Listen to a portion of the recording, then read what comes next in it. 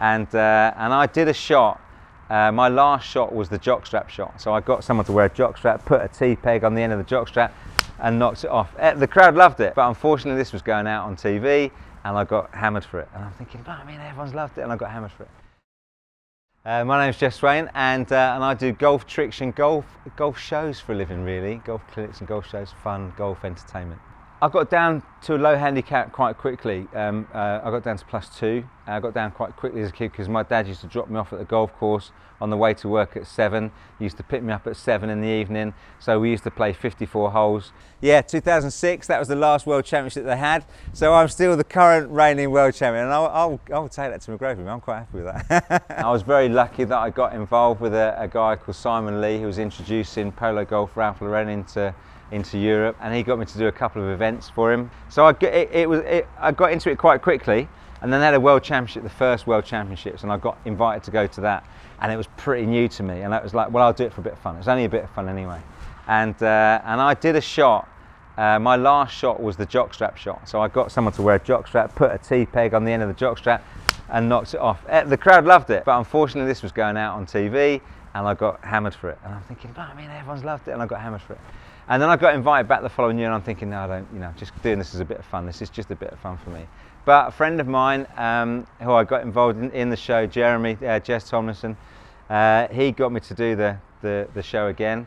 And we did some new stuff that people hadn't seen. So the moving ball stuff. So he chipped to me, and as the ball came over the air, I hit it out the, out the sky with a driver. That was fresh. It was new. So the moving ball stuff was completely different to what other guys were doing. I ended up winning it uh, the second year, and they've not had it since. So I still, you know, this was 2006. So I'm still like the current champion. But um, it's uh, it was great fun, and then.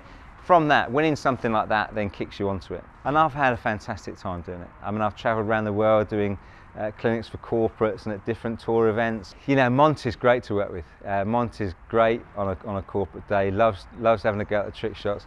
Poulter loves the trick shots, very competitive Ian, so we've done a few uh, days with Ian and he's very good at them. Nick, Nick there's a lot of players that, that, that that we've had some fun with at the clinics and, uh, and have a go at it. The, the favourite shot for me is, is, the, is the moving ball stuff. So is the chip and drive. So I'll get someone out to chip the ball to me and as it comes over hit it out sky. The one that we the, the one that I did at the World Championships pretty much won it for me.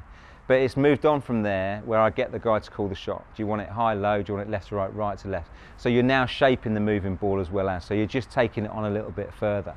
Uh, and I like that. And then when that comes off, it's great.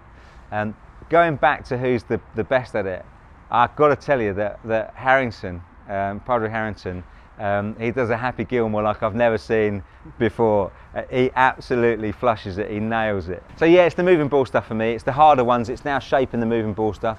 Gone are the days where I used to use hose pipes in drivers and all that sort of stuff. That's gone for me. Um, so it's using normal golf clubs, balls, shaping them, moving ball stuff, and you've got to try and educate people in the show. So I try and hit three areas for the show. First, it's got to be fun. It's got to be interactive for the people watching. Two, it's got to be different. Uh, it's got to be, they've got to be seeing things that they haven't perhaps seen beforehand, but they've got to be educated. They've got to perhaps understand how a golf ball works so they can improve their games. Three, they've got to be impressed with your ball striking and your shots. If you hit those three areas and they've walked away being impressed, having fun and learnt something, then the job's done.